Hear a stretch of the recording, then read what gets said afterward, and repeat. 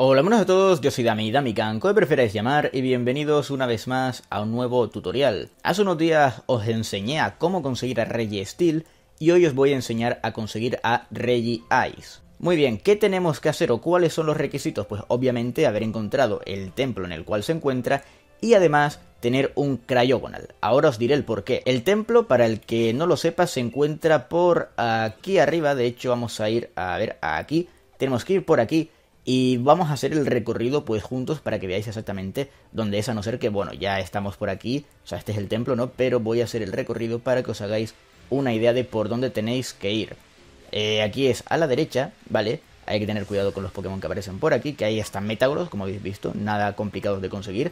Y simplemente es desde aquí delante, a ver si no me topo con nadie, perfecto desde aquí, que es el caminito por el cual llegáis a la cueva y demás para ir luego al donde se encuentra el señor Calyrex, eh, pues tenéis que venir a la izquierda, ¿vale? Como habéis visto, y hacer el recorrido, que es muy simple, o sea, es casi lineal. Simplemente es coger, venir por aquí, ahora tenéis que girar a la derecha, ¿ok? Hasta aquí bien, cuidadito con el Trevenant o el Pokémon que os salga, luego a la izquierda y ahí está el templo, o sea, no tiene más. Muy bien, ahora cuando estéis aquí la puerta debería estar cerrada, yo como ya habéis visto que tengo al Rey Ace, que por cierto aquí está, eh, pues no lo puedo abrir con vosotros, así que os voy a leer lo que pondría la puerta.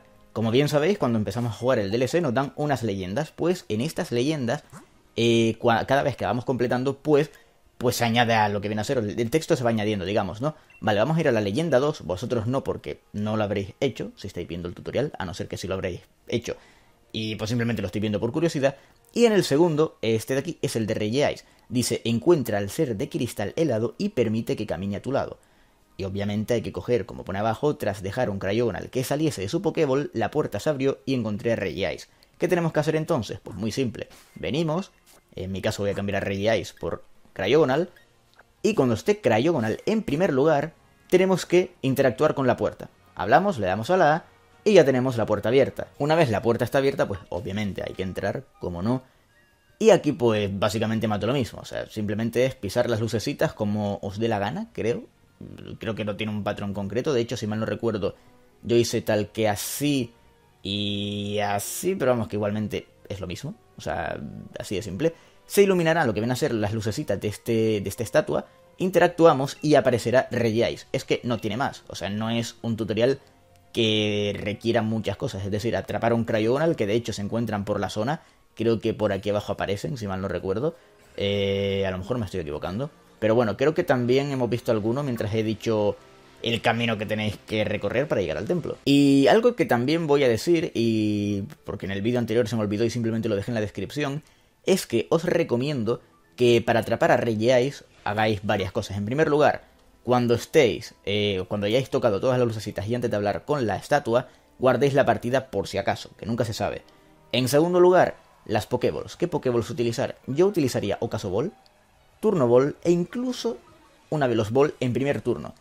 Que por algún casual queréis utilizar otras, pues bueno, podéis utilizar perfectamente Ultra Ball y lo que viene a ser una Master Ball en el caso de que os sobre. Que ver que al fin y al cabo es a gusto de cada uno, pero yo digo lo que haría yo, o mejor dicho, lo que hice yo a la hora de atraparle. Y nada, simplemente espero que os haya gustado. Si mal no recuerdo, hace unos días habréis tenido el, aparte del tutorial de cómo conseguir a Steel, pues cómo conseguir a Blaziken, Sceptile y Swampert en lo que viene a ser los Super Nidos, por si no lo sabéis. Y nada, pues podéis dejar un buen like, un buen comentario, recordar que tenéis en la descripción el link de Twitter, de Discord, de Instant Gaming, y una vez dicho esto, nos vemos en el próximo vídeo. Chao, chao.